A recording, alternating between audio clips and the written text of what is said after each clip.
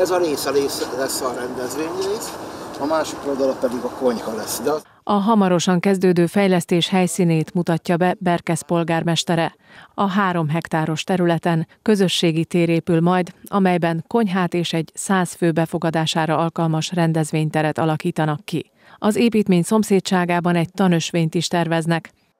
Ezek már a látványtervek. A munkálatok a közeljövőben kezdődnek. A beruházás a tervek szerint idén novemberre készülhet el. A közösségi tér nagyon fontos lenne, hiszen a konyhánk az egy olyan konyha, ahol valamikor is tároló konyha volt az óvodában található, és ez a, a konyha a mai szabványnak megfelelően 2023-22-24-ben nem megfelelő, és ezért próbáltunk egy a mostani igénynek megfelelő konyhára terve, tervet beadni.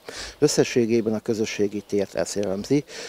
Pénzösszegben, ez bruttóban 272,4 millió forintot jelent. Megtörtént a közbeszerzése, nyílt közbeszerzés természetesen, ugye, és meg is van a pályázó, aki elvitte. A hamarosan induló fejlesztés mellett egy másik beruházás a végéhez közeledik a településen. Ebbe az egyelőre üres épületbe költözik vissza, várhatóan a következő hetekben az önkormányzat. Itt a teljes belső teret átalakították és felújították. A 34 millió forint, a, a bruttó összeg, amit a, erre az épület belső felújítására költöttünk.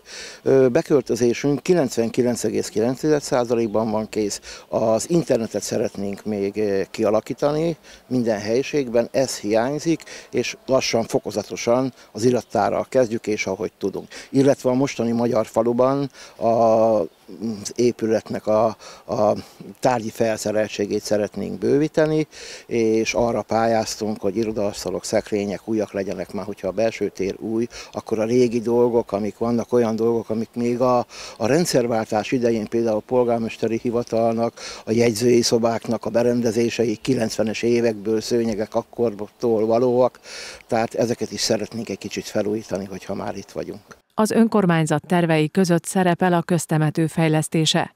A Magyar Falu programban a ravatalozó felújítására pályáznak, LEADER program keretében pedig tavasszal kezdődnek az urnafal építésének munkálatai. A területen egy urnatemetőt is kialakítanak majd.